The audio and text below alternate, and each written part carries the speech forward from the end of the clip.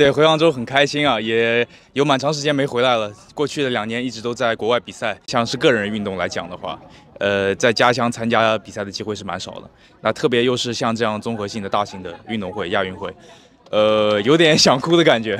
特别是下车的时候，看到大家各位都一直在这边守着我们，等等待着我们来参加这个这个收获仪式，我觉得呃很感动。我我希望可以在家乡打出自己最好的水平，夺金牌。